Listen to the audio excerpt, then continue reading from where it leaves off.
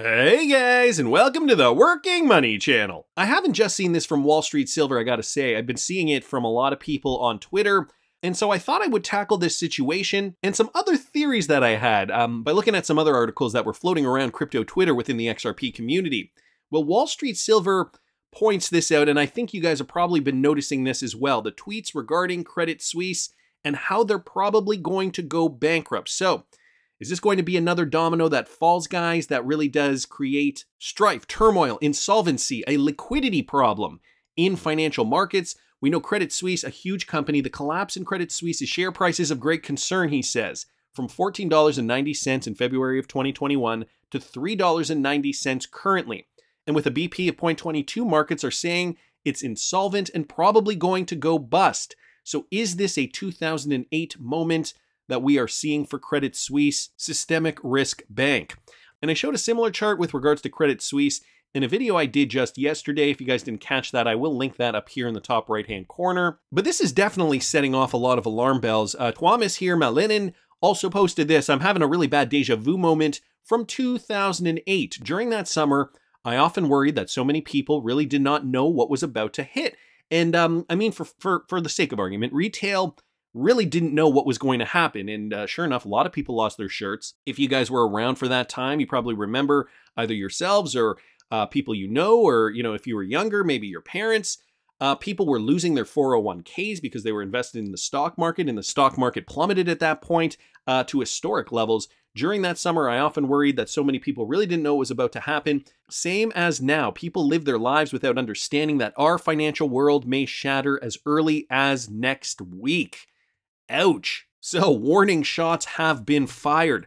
Let me just bring up the S&P 500 here for you guys. I'm going to throw it on the weekly just real quickly uh, to show you guys just to, um, you know, just to demonstrate what we did see back in 2008, all those uh, years ago. Huge moment, okay? This is what movies were based on, like The Big Short. Throwing a Fibonacci up here, and this happened to be in October of 2007 before we started to see the slow cascade down. Okay, we did see retracement levels hit. We did see it come back to the 0.702 back in August of 2008 and finally hit rock bottom by February or March of 2009. And from that point forward, we did see an increase. Okay, so this entire collapse took about four, 530 days, 520, 530 days, give or take. So the collapse happened over the period of a year, basically from all time high to all time low. And so it was almost like people weren't believing it until we really got into the nitty gritty by uh, October 2008. I remember uh, watching the news, and I wasn't really in finance at that point, but I remember it being pretty crazy. Um, I, I, got into finance, I got into trading shortly thereafter in 2010 or 2011. Actually, it was 2011. So it was on the upswing. Confidence was back in the market, but at this point, people were losing their shirts, their houses, everything. If you haven't seen The Big Short, one of my favorite movies about finance, actually, probably my favorite movie about finance. So let me just throw that Fibonacci back on here just real quickly to give you guys a sense of uh, where we are today. And we know when a Fibonacci, you know, hits its peak, that is generally the sign that the market is going to turn around. Not just for cryptocurrency, for everything. Um, and it did. It hit its peak back in November of 2021 when Bitcoin hit its peak and many other financial assets. And so now we are starting to see this free fall we talked a little bit about um, how this level here on the S&P 500 broke back on the 19th of September. So we are actually now below former support that was formed uh, over here in June of 2022. So I guess the question now is how far are we going to go down? And um, are we to assume that this may have been the 702 retracement once we find the bottom? Well, where would that uh, bottom be? Whoops. Where would that bottom be if that were the case? Uh, if that were the case, and uh, let's say that is the 0.702, I mean, we do not know this yet, that would mean the S&P would still have to tumble uh, about another 10%, 10, 11%, all the way down here, 318. So it's looking like we are in a collapsing event. I kind of just want to get back on topic here. Credit Suisse is not the only major bank whose price to book is flashing warning signals. The list below is of uh, other companies, GSIBs, I don't know what that is. It gives a list down here with P2Bs or price to book of under 40%. A failure of one of them is likely to call the survival of others into question. So just giving you guys uh, some other examples of companies or banks, big banks that could be in trouble. So in yesterday's video, I did also talk about uh, Deutsche Bank, uh, but Credit Agricole, but Credit Agricole, Unicredit, Barclays, big bank in England, the Bank of China, the Societe Generale, I believe that's in France, Standard Charter, so on and so forth. So this is their price to book ratio. And um, I, don't quite know too much about price to book ratio, but it sounds as though these guys are in trouble. I think there's actually an explanation down here. Yeah, Truth Seeker asks, can someone explain to me price to book ratio? And uh, Tommy Sandown here says, the bank says it has cash and stuff worth $100 and you can buy the bank for $25. It means other people don't actually think the bank is worth what it says it's worth. So that's not too good, is it, when we're seeing these bank to uh, price to bank ratios under 40%? So is this another Lehman Brothers situation, guys? Lehman Brothers 2.0. This brought to us by Michael Branch here on Twitter. The black swan that no one expected potentially appeared in the market after the crypto and financial community sparked a series of discussions about the worrisome state of one of the biggest investment banks in the world, Credit Suisse, which could be dangerously close to defaulting and causing a massive crash on the markets. The story began with ABC Australia's post about a major financial bank being on the brink of a default. The news outlet was not, uh, or rather has not pointed out which bank is uh, is in the state mentioned in the article, but financial experts and economists already had a suspect in mind, and this is why everybody was pointing to Credit Suisse. One of the world's biggest investment banks is Credit Suisse with around $1.5 trillion uh, in assets under management and they have not been uh, in the best state over the last year. The bank's stock plunged by more than 60% through the year and tumbled from almost $10 to $3.95. However, the poor performance on the bank is not the only thing that causes issues. The cost of the bank's credit uh, default swaps has skyrocketed, reaching the highest level since 2008. The 2008 market catastrophe the CDS is a popular instrument that acts as a hedge against a potential default. And so this is what the problem is. To get into that in more depth, guys, I'm going to read you this tweet thread, a very informative thread by Rajat Kumar Singh, okay? Credit Suisse and Deutsche Bank are on the verge of collapse, a thread on the ongoing crisis at DB, which is uh, Deutsche Bank, and, and CS, which is Credit Suisse, as per my limited understanding. He goes on to say the combined asset base of the two banks is nearly $2 trillion, which is 3x the asset base of Lehman Brothers at the time of its collapse. Now, of course, you know, it, has been a decade plus since the Lehman Brothers collapse, so, um, you know, there, there is more to the assets. I don't know if you were to adjust it uh, in terms of inflation, if it would be roughly the same or more or less. It doesn't really matter, though. On September the 15th, 2008, Lehman Brothers, a bank considered too big to fail, filed for insolvency. It was the single largest bankruptcy filing in the history of the U.S. At the time, the bank had $639 billion in assets and $619 billion in debt. Both Credit Suisse and Deutsche Bank are designated uh, as systematically important financial institutions, or SIFIs. They are too big to fail. Remember the times when they labeled Lehman Brothers too big to fail. So there's all kinds of sources here too, guys, which I will link in the description of the video. The stocks of Deutsche Bank and Credit Suisse have been slowly bleeding out since 2009, and both are down about 90% from their 2009 high. So this was the chart that I showed you guys the other day. Since that high back from over a decade ago, they are now at historic lows. The credit default swaps, or CDSs, for Credit Suisse are going absolutely vertical and are now approaching the highs of the great financial crisis of 2008. Higher CDSs equal strong market wide belief that Credit Suisse is going to fail. Uh, and a CDS is a derivative that allows an investor to swap or offset their credit risk with another investor. To swap the risk of default, the lender buys the CDS from another investor who agrees to reimburse them if the borrower defaults. So, what does this crisis mean in layman's terms? Well, one, if the bank can't pay off their debts, they become insolvent and have to sell off their assets. If the prices of these assets fall below a certain level, the other banks too will have to start selling to avoid the forceful margin calls on their position, i.e., there's going to be a liquidity problem, guys. This massive deleveraging event will cause a domino effect due to mass selling, and this economic crisis will spread from one market region to another, known as contagion. Though there is a good chance that the German government will go all out to save Deutsche Bank because it's the biggest bank in Germany, but the size of the bailout is a matter of concern.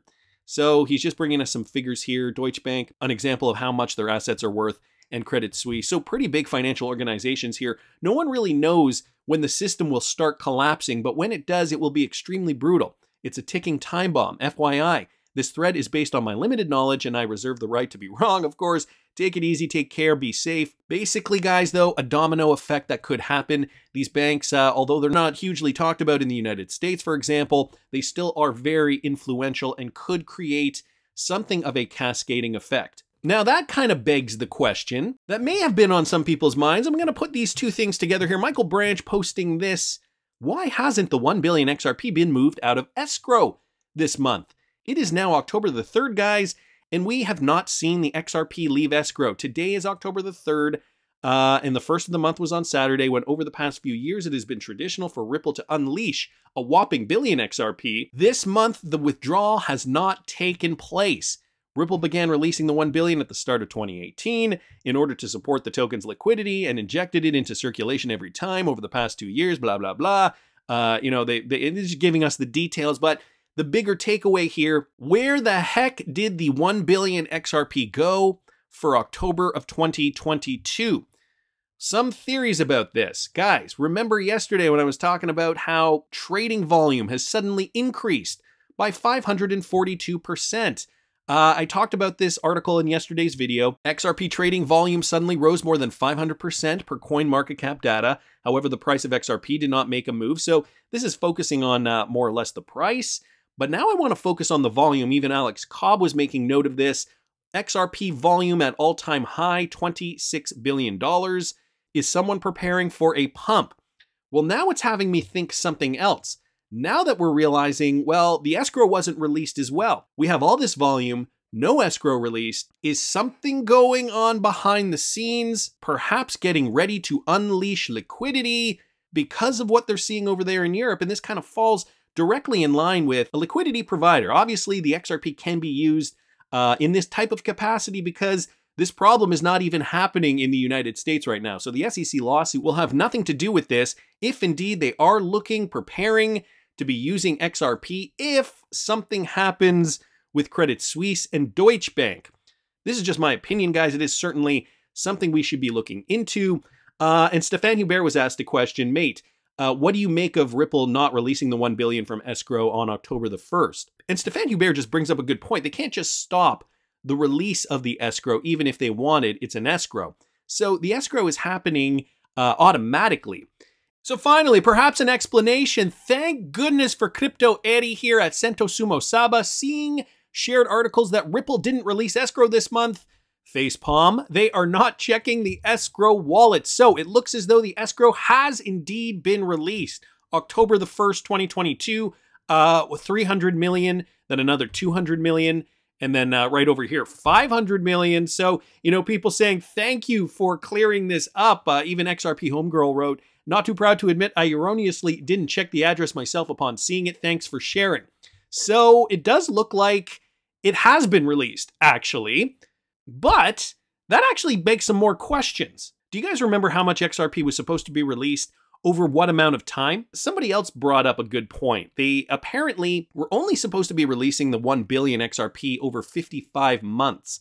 And 55, so this was an article back from 2017. To provide the additional predictability of the XRP supply, Ripple has locked 55 billion XRP, or 55%, in, uh, in the escrow. These escrows were on the ledger itself, and the ledger mechanics enforced by consensus controls the release of XRP. The escrow consists of independent on-ledger escrow that is released a total of 1 billion XRP each month over the next 55 months. Now this was, uh, at least this was written in December of 2017. If we bring up just a calculator here and uh, just calculate 55 divided by 12 months, that means it should just be over four and a half years. So all of 2018, all of 2019, all of 2020, all of 2021, and now we are past the midway point of 2022. So this would definitely make sense if now the escrow is supposed to come to a close. But now the question is, why now? Is technically, at least in terms of what the optics are, has not even been implemented yet. Unless this was in the works and has been planned since the beginning, mid to late 2022, this is when the proverbial crap was going to hit the fan, or at least this was the plan for the powers that be, that want to take down the financial system and rebuild it with DLT technology, running liquidity through RippleNet and XRP. I mean, it's a bit of a far out theory, guys, but kind of not really. I mean, when we're looking at all the moving parts to this. Now, I also wanted to bring you guys this from Matthew LINY. The DLT debt transparency platform might be implemented to slow down a systemic meltdown of capital markets. Uh, did I also mention, sorry, I don't even remember, did I mention ISO 20022? Supposed to begin to be implemented by November of 2022. That also falls in line with the timeline. Ripple is one such company working with G20 central banks for blockchain payment instruments. So there was also this, I talked about, uh, I talked a little bit about this yesterday, how the ICC calls on the G20 to take the risk of a global debt crisis off the table, and how it's time to implement a tech-driven sovereign debt transparency initiative, concept design, and policy actions. And uh, look what they say down here. Well, it is certain that the private sector can play a major role in disciplining the sovereign debt borrowers via registering and sharing key information on the individual debt transactions. This is much easier if data from the largest private lenders and creditors is registered, pooled, uh, recorded, and stored in an independent global repository, uh, uh, the form of an online platform that can be accessible not only in the international financial institutions, and then they give an example here, the WBG and the IMF, but also to civil society organizations, donors, and debt charities. The platform can be powered using digitalization, in particular, distributed ledger technology. And again, as Matthew Liny points out, Ripple is one such blockchain company working with G20 already to perform these tasks. So to me, it's looking like, yeah, maybe there is something going on behind closed doors. Maybe this is just another step, Ripple getting poised, Ripple getting ready because, I mean, if you were to believe this theory, we already kind of know that the financial system is a house of cards. And if we were to believe that the powers that be want to tear down the financial system purposely and implement a new system as per their Great Reset initiative, well, then it kind of makes sense that they pick on certain banks that have influence. Um, and if these banks are barely hanging on by a thread and they've been propping them up for decades, well, who's to say that they can't say, okay, now it's time for Credit Suisse to drop. Let's prepare everything. Let's ramp up the volume here, over 542% now running through the XRP ledger, and Alex Cobb pointing it out, $26 billion now going through the XRPL within the last 24 hours. Things that make me go, hmm. And Riz XRP posting this, uh, what does Louise Yamada say, the bigger the base? The higher in space. They were talking about this back in 2018 when XRP was forming a large base on the chart. I just want to play you guys this. Obviously, down from the peaks up here, right? The whole crypto market has kind of gone sideways here. But what does Louise Yamada say? The bigger the base, the higher in space. In my view, you have to have people start using that XRP, that Ripple currency, in substitute for foreign currency, but that's the utility. That's the use case for Ripple, the currency. If that's the case, then that's a pretty nice base right there. If that's the case, well, that's a pretty damn good looking base. That's just my opinion. But I want to hear what you guys think. Please subscribe to the channel if you haven't already. Like the video if you like the content I'm providing. I always love hearing your comments. See you in the next one, guys.